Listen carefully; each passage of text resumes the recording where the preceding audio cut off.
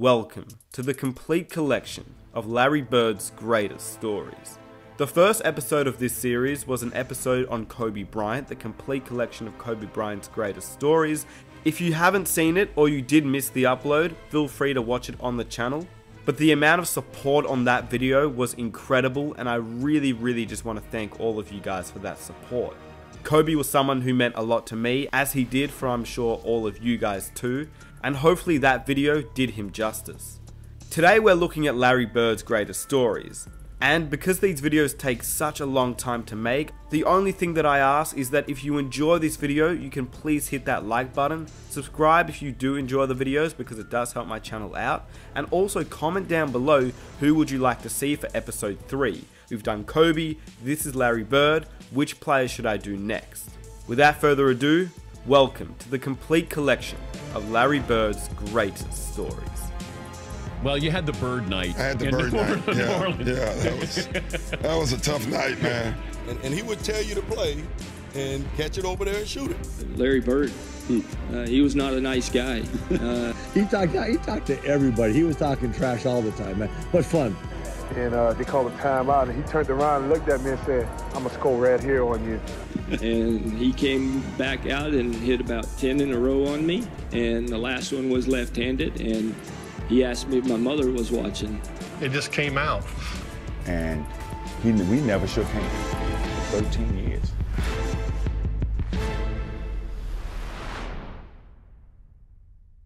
Well, you had the bird night. I had the bird New night. Orleans- Yeah, Orleans. yeah, that was that was a tough night, man.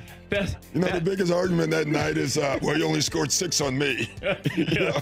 But did you, nobody was guarding Bird, were they? Well, we were trying. You were trying no, to. no, but when when a guy is literally coming up the court, calling his shots, uh, and you know, Bird talked a lot of trash. Uh, um, And that's in New Orleans. That's in New Orleans. You were playing the Hawks, and it was one Yes. of those times they were playing some home games down in New Orleans. In New Orleans, I'll never forget that game. He was so hot, he started shooting threes with his left hand.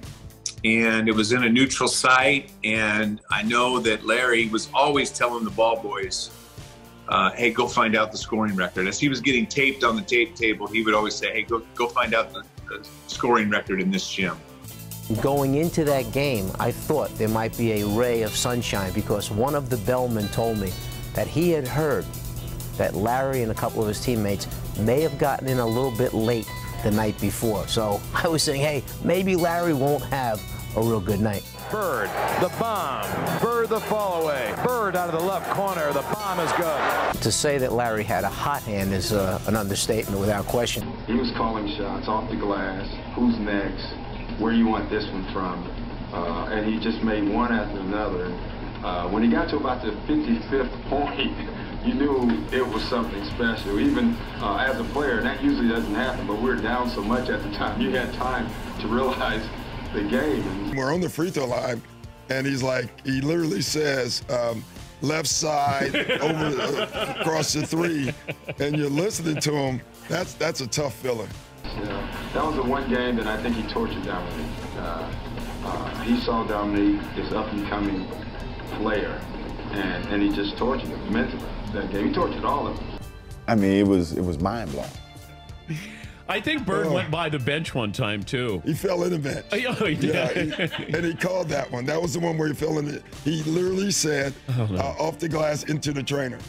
And, uh, way. yeah, and so um, it was a bad night. And it's going to be a three, and it's going to be awful And Then he said, who wants it? And I think Ricky Brown, I'm not for sure who it was, ran out after him. And he shot this high rainbow.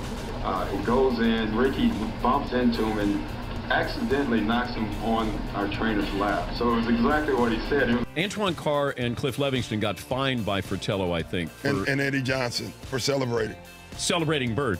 Yeah, it was the best film session. Every time I, s- when I see Mike, we still laugh. God, it was so the, it was the greatest film session ever because that back then you didn't have you know you watched the real game and just went you know with a video and Mike rewound the celebration 20 times.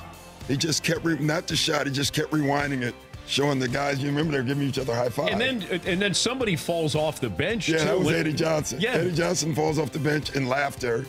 I mean, everybody was entertained by this. Even, That's even the guys five. on the, That's just Atla- a- the guys yeah. on the Atlanta They bench. got fined for that, I heard. Yeah. Watch the watch the They got reactions fined. on the Atlanta bench.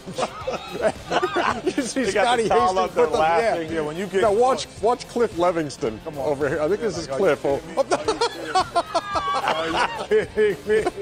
And our film session was 20 minutes of that. Larry, you know, put on a show that night, and I mean, just to get the whole Atlanta bench going crazy uh, on some of the shots that he was making down the stretch is a pretty good indication. I'm not sure I've ever seen that before. And he, we never shook hands for 13 years. You at the three point competition, walking in the locker room. Who's playing? Did you really say that? Who's playing for second? Yeah, I did. I, I felt so bad. Yeah, when you walked in and asked who was going to get second place in the three-point contest, when you walked up, when you walked in there, what what, what were you thinking when uh, when you when you made that announcement to the room? Just messing with all those guys like you always did. with Yeah, I everybody? didn't. You know, I had no clue. I never, I never really practiced. I mean, me and Danny used to shoot some Mm-hmm. uh, before we went out there. Uh, everybody's sitting there. Everybody's real quiet. You really didn't. You knew the guys, but you never were around them. three point contest at the All Star break. And Larry walks in and says, I hope all you guys in here are thinking about second place because I'm winning this. Excuse me? Who were some You of the know, I guys? Who were some of the guys in the competition at that time when you walked in? Who was in, in that field? You know, I. I, I Come on, I coach. You know. no, I don't. I don't really remember. Dell Ellis. Um, Dell Ellis. Yeah, Dale. Uh, what's Hodges? the kid that's ref? Yeah, Hodges. Leon Wood. Leon, Wood. And I'm sitting there with one of my teammates, Leon Wood. It was a it was a great three point shooter. Labberg comes in last. And nobody's really saying anything. So I walk in and look around, and it just came out. He says, "Who's coming in second? 'Cause You already know who's going to win this." It was so quiet. And after that, I said, oh man, these guys ain't got no chance. and I got lucky because I almost got beat in the first round. But what was the reaction after you said that? Like, oh, that's just Larry Legend, or did it get dead silence in there? It was silence. I think they were Like a little it. nervous. I like it. I think they were nervous. I had no clue I was going to win it, uh, but um, you know, it, that's just part of the competition. You see Larry finishing off. Look at that smooth rhythm. The shot, one step back, pick it up, the shot. Back and forth. He is like a machine, and the results are almost like a machine. He ain't took off his top yet. I didn't see when he took off his top. Hey, it's hard to shoot out the bird just made 23. And then the But, walk, uh, the walk off with your hand up. I mean, come on, coach. Come on. Well, I I was struggling in that final round in Chicago. I know that, and I just got hot there the last two and a half racks. You know, when you're shooting them, you don't know what the score is. Right. But I had a feeling by the way the crowd was going, I had to make the last one. And uh, when I let it go, I, I felt it. was- You know, sometimes you shoot them, you think they're going in, they don't. But that one there looked perfect all the way. So if it would have bounced out, I would have felt like an idiot. Well, but it went in. I got lucky and got the check and went home. Yo! Larry Bird at the buzzer with the two-point ball. 17 to 15 defends the long-distance shootout crowd at Chicago Stadium.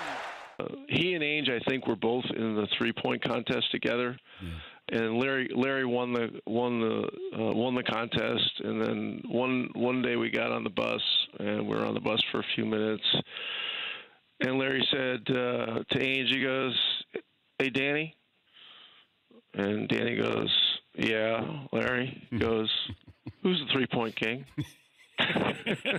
you know. Larry Bird. Uh, he was not a nice guy. Uh, Back then, when we flew commercial, we didn't fly private. Um, we played in a Tuesday night game in Cleveland. matter of fact, there was one game in, in Cleveland. In Cleveland, and he told me where he was going and where he was going to shoot.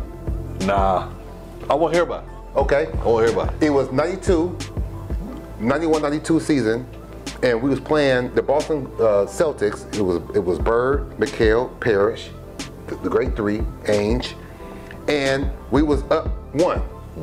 Okay. where he was having a pretty rough first half. And in the old days in Cleveland, you walked off the court uh, the same way at halftime. And I kind of puffed up on him and walked beside him and was like, "Yeah, you're one for 10. I was like, "That's defense," you know. And um, he just kind of looked at me and said, "There's two halves." and he came back out and hit about 10 in a row on me. And we was up one. Okay? He said, who's guarding me? As we come out of timeout. Now remember, I'm a rookie because Price is out because he hurt. Right. He says, who's guarding me? I says, Craig Ehlo. He says, why you got that white boy on me?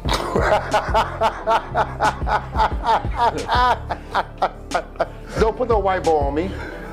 He said that was the most. Now remember, Larry Bird is white. Right. And the last one was left handed, and he asked me if my mother was watching. I think the story that sums up Larry the best was we had a game on Wednesday night in New Jersey.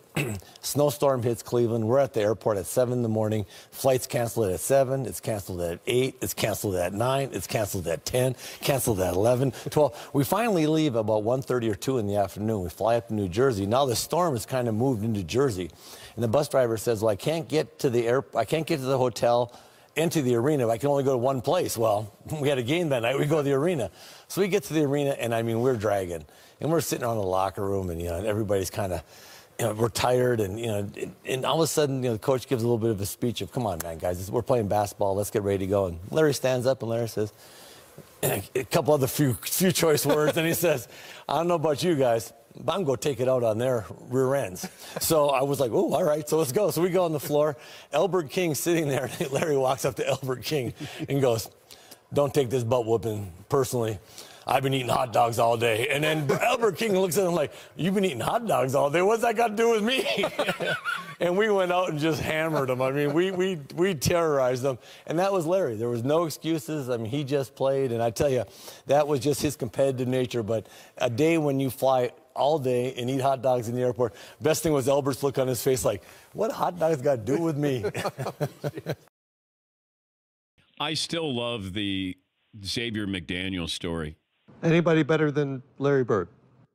No, Larry's probably the best trash talker. You know the best thing about Larry now? He's so buttoned down now. He's just like, you know, I didn't do that. Just, Man, that guy lies. He, he was the best trash talker. Can you and tell, he denies can you, everything. Can you And tell a Larry story? I haven't I haven't heard much of him, you know, any stories about him talking trash and he's so quiet. Yes. Just every other time and I never got to play on the court or see. But can you tell a story like Oh, well, I'd say one of my there's a million of them, but one of my favorite ones is we're playing Phoenix and we're way ahead. Okay, The Celtics were playing the Suns, and we're down in the old Saddle Dome that they had outside. Right, right. And Larry, you know, we're playing good as a team. Larry has the worst fourth quarter known to man. I mean, he's throwing the ball to the other team. I'm like, good lord, we had like a 15 point lead. Next thing you know, we're down two. And I'm like, oh, how in the world are we going to lose this game? man? So we have a play out of bounds play. I'm taking it out, and um, Larry says I'm going to bust off the play, and I'm just going to come out and I'm going to shoot a three, and I'm like, And Larry says, I'm going to bust the play. I'm going to shoot a three. And, I'm like, Bertie, it's just getting overtime. I'm going to Robert. you know, Robert, we need to get into overtime, man. Try to get this ship right because we're sinking, man. I right. Celtics are down by two points, and Bird is out by the three-point line, and he's being guarded by a guy named Johnny High. And Johnny High is sort of backing away from Bird, and Bird says, "Hey, Johnny, you better come up and, and, and guard me a little closer. I'm just going to get the ball and shoot a three, and game's over." You know, Larry not only tells me that, he walked by the bench and says, you know, typical Birdie, just real slow. so he tells the tells the Phoenix bench, um, he tells the coaches, yeah, I'm just fixing to bust a three on you guys and just go home. I'm tired of this. Fixing to bust a three on your guys and go home. And, you know, Johnny High sort of, sort of smiles and laughs about it. and so he breaks the play. And then the ball comes into Bird. He just turns around and shoots a perfect three. Shoots the ball. As the ball's in the air, he kind of turns towards the Phoenix bench and yells, "Told you so!" He stops running to the locker room. Larry hits it. He looks at the bench and goes, Told you so. Unreal, man. As he's walking off, he puts an arm on Johnny High's shoulder and he goes, Johnny, I told you to come out and guard me. That was Birdie. And just he had the confidence, man. That dude had so much confidence. He talked to the coaches. He talked. He talked to everybody. He was talking trash all the time, man. But fun. Great competitor, man. And I, I just, I just started laughing. I was like, "Oh man!" You know, I, I, I, I, it's just one of those ones where you just kind of. He has such supreme confidence, and it was just. But I, I, uh, that's the one when you when you were back in, and Larry went in and said, "Well, I won the game in the first three quarters, then I lost it in the third quarter, and the fourth quarter, excuse me. Then I won it at the end. He goes, "My record tonight is two and one." we all just kind of laughed. Bird used to tell people. I remember he told me a story about Xavier McDaniel. Mm. He said, "X- X-Man, yeah. X, I'm gonna get the ball right here. I'm gonna shoot a jumper right in your face." It was a tie game. They had the ball, and DJ was stalling the basketball. And um, Larry was kind of standing I outside behind him, like denying him the ball. And uh, they called a timeout, and he turned around and looked at me and said, I'm going to score right here on you. And uh, I said, I know you will. I'll be ready. Tie game, 13 seconds to play. Celtics basketball. During the timeout, I'm going through a play, and about that time, Larry steps in and says, uh, Coach, uh, why don't you just give me the ball and tell everybody to get out of the way? That's Larry. And when he wants the ball, he wants the ball. After the timeout, we walked back on the court, and then Xavier was guarding him. So he tells Xavier, he says, I'm getting the ball. And Larry said, I'm going to get it right here, Ed, and I'm going to shoot it in your face. He hit it and looked at me, and he was like, damn, I didn't mean to leave nothing on the clock. And shot a shot right in my face. I just looked back, and the ball just went in, hit all net. And uh, he said, uh, I told you so. And you know, he was like, I didn't mean to leave two seconds on the clock. He wanted to shoot it with zero seconds on the clock. I walked back to the sideline like, damn. Now, a lot of people don't know this. You you probably know this, Dan, but Larry Bird was one of the biggest trash talkers in basketball. And, and a lot of people say, really? You know, they thought it was Reggie or Charles. Larry Bird talked more trash on the basketball court than, than anybody I've ever played against. And he told us two, he, told me two things one game. You know, our rotations, uh, double teaming Kevin McHale always had to rotate to the corner, and Larry Bird was the one shooting it. You know, so he shot one, and I mean, I, I'm trying to block this shot, and he, he would just tell me, Scott, you're a little too late. You know, a little too late. So we playing him in the last the last play. He says uh, to James Worthy, he says, "You guys don't have to worry about it. I'm gonna go right over there that corner." He said, "They're gonna set a screen for me. We're taking the ball out." He said, "I'm gonna curl right over," and he's telling us to play. He's telling us to play before they even take it out. He said, I'm going to go right over to that corner and I'm going to catch it, I'm going to shoot it, and I'm going to tie the game or win the game, whatever the case may be. They take the ball out, and I think it was either Danny or, or, or um, DJ? the late, great DJ. Yeah. Take the ball out, the man curl right to the corner, caught the shot, shot a three, And game over. it. It's like, are you effing kidding me? It's my Larry Bird story.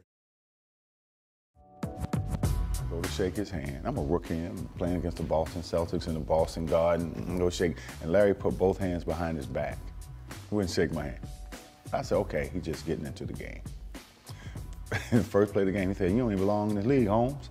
And he shoots a three. Now, I wasn't mad that he made the three. But I said, did this something this this called me Holmes. and, he and he came down and did it again, so I'm pissed, you know. So next time down, see me on the breakneck pitch, and I jump up and I throw it down on him. Right? I mean, he fouls me, and he said, "Hey, Rook, I like you. You got heart." He said, uh, "I like you. You got heart, but I'm still getting 30 on you tonight." Said, "But I'm still getting 30 on your ass." I mean, I mean, that's who he was. Didn't Bird shoot left-handed for an entire game against Portland?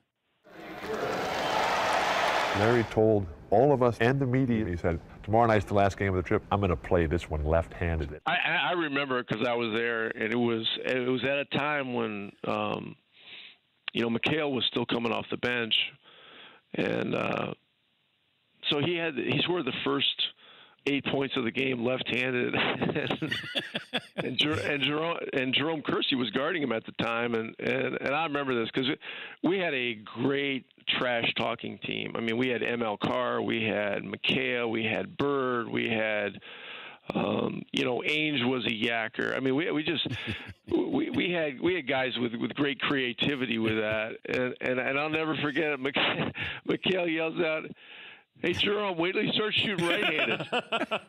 you know, I mean. But like you, you know, you're talking about you know you're talking about one of the great, the great, obviously great players, great competitors. Um, but Bird was a great artist too. Who's got Larry Bird stories? Brad Daugherty told me this story when he was uh, like second year in the, in, in the league and they were in the playoffs against the Celtics. Down one, Larry Bird catches the ball in a deep corner and he steps back for a three. And before he takes the three, he's like, oh, wow, he's going, he's going for the win. He's not going for the tie. Larry Bird catches the ball in the corner. I take off running out at Larry Bird. And right when he's getting ready to shoot, I jump. And he head fakes him. And as I go by, I go by him, he tells me, he says, fly bird. And as he head fakes him, now it's 3 2, he hits him on the butt with the ball. And then he shoots it at the buzzer. And the confidence that hit him on the butt as he flew by him trying to block a shot. And, he, and I go right by him, he shoots the ball, it's nothing but nylon. I, I remember the time when Larry got on the roll, started shooting the ball. He said every shot was going in. Goodbye, she's gone. I guess the two-pointer was too close. When he ran by the bench, he goes, that's a heat check. Just see how hot I am. All right, it runs by Frank Layden, who's the funniest guy in, in the league. And Frank is coaching, and Larry says to him, hey, Frank, don't you have anybody on that bench that can guard me? He goes, so nobody out here can. Frank looked down at the bench, and goes, no.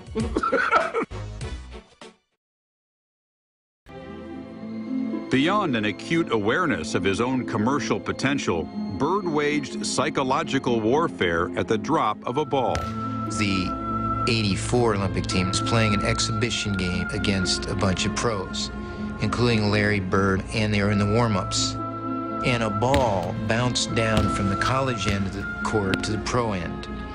And Michael Jordan went down to chase it. The ball happened to be picked up by Larry Bird. And Michael went up a few feet away from Larry Bird and held out his hands. And Bird took the ball and fired it back down the court over Jordan's head, as if to say, You're not only not getting this ball, I don't give a damn who you are. Larry Bird knows exactly who this guy is and what's going to happen in the next few years. And he wants to get every edge he can get right now. But Bird didn't talk trash to you. Oh my he? God, Bird talked trash to everybody. But didn't he? Did, did he get to a point where he had I- respect I, for I, you? I always tell this, peop this story about Larry Bird. I remember him, he was cursing under his breath. And I asked him, I said, Larry, what's going on with you? He says, You guys are being disrespectful to me. And I says, What are you talking about? He says, You guys are putting a white guy on me. That's disrespectful. Wait, who's the white guy you I, put I- on him? I can't remember who it was. I just started laughing. I had no comeback when he says, he says, it's disrespectful when y'all put a white guy on me. Here he was out there with a quarter of black guys out there talking trash with him, and the rest of the fellas are sitting there going, "Hey, the boy bad. What can you say?"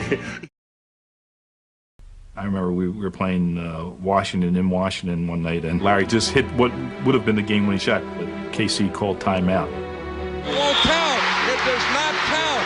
Boston had called a timeout. Larry came back to the bench, and you know he was a little upset. He looks at uh, the bench and says, uh, hey guys, when I come back after timeout, I'm going to go right to the same spot. and I'm going to kick it in. He told Washington, "I'm going to get the ball." Two seconds left. The Bullets by one. Ainge to Bird. He gets a good shot in the Celtics win it. Boy, this is something else. Incredible. And Bird wins it at the buzzer. How many people you know would talk to the other team like this and say, I'm going to stick it in your face? In last year's playoffs, Person was out to make Bird eat his words while adding a few choice comments of his own. First time I touched the ball, my first, very first game, he said, shoot the ball, rookie. Shoot it, shoot it, shoot it. I said, okay, I'll shoot it. Wow, like that, and it went in. And I said, don't ever tell me to shoot the ball. I shoot it every time. And from then on, uh, it's been a battle from, from the last six years. Chuck Person, he definitely has his reputation. During the playoffs, he just went AWOL. Chuck and Larry down low, greeting one another once again.